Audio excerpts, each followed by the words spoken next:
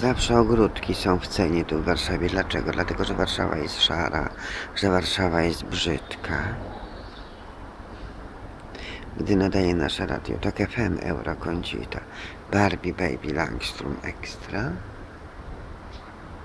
I zawsze można sobie dopomóc. Jeżeli, proszę Państwa, te firmy lichwiarskie Ciebie straszą, egzekwują, jak, jakimś baranim głosem facet tu się wypowiada.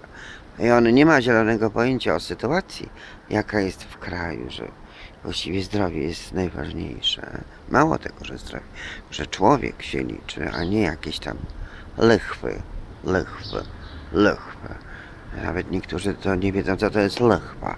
Proszę Państwa, swego czasu, jak pojawiła się taka na- nazwa Lindorf, to ja też nie wiedziałam, co to jest.